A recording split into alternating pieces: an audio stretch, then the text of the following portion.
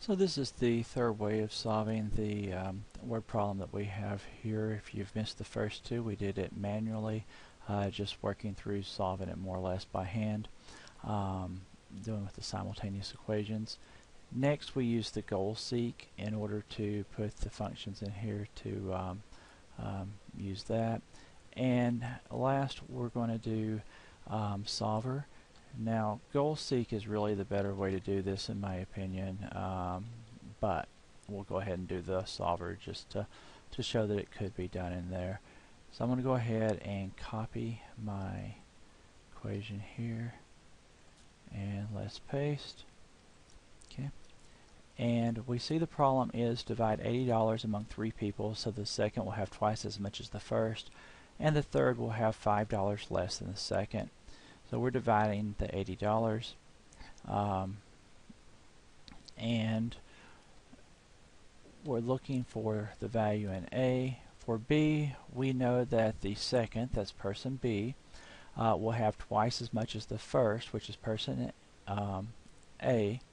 So um,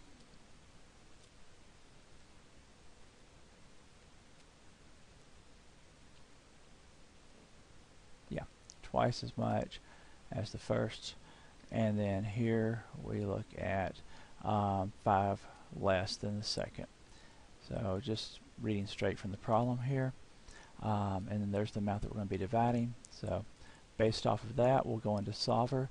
If you don't already have solver um, installed you'll need to go into your file options area to enable solver. Uh, but for now we're going to go ahead and our objective on this is that we want our sum of these three numbers here.